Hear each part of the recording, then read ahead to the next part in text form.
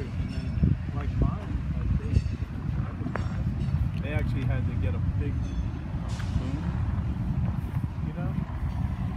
And they were in the street and they lifted the pool right off of the, um, right off of the, the, the truck.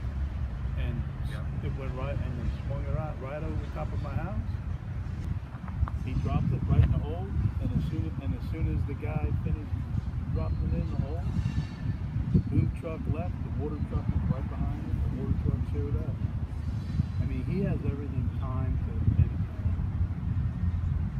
It's unreal. This guy, he used to be a s- old uh, school principal. He retired as a,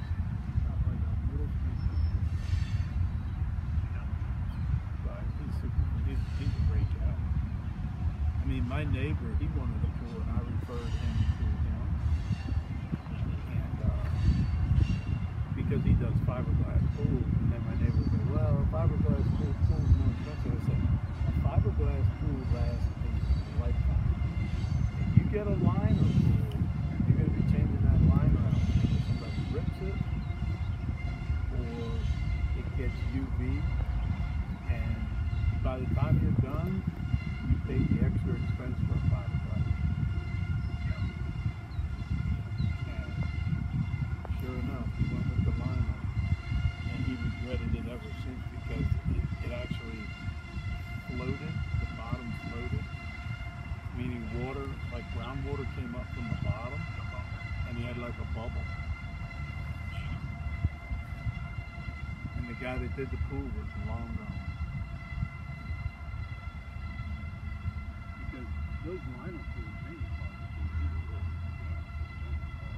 They're almost, I mean, it's a metal frame. See, they dig a hole and stick a, an above ground pool underground. That's kind of what it is. But, uh, you know, but mine, I just put, you know, I got salt water. I just put salt in it. Turn the chlorine generator on whenever I feel like it. Um, I just turn it on and let it go. Like in the spring startup, within one day it's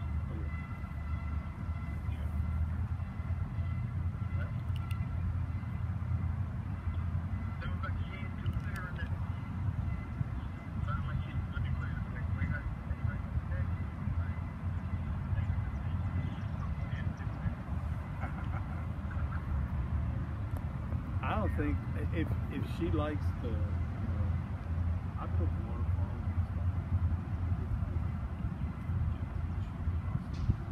I did all that. They can do it. You know, you, you, you get a, now they got lights where you get a color wheel. You can make the water any color you want.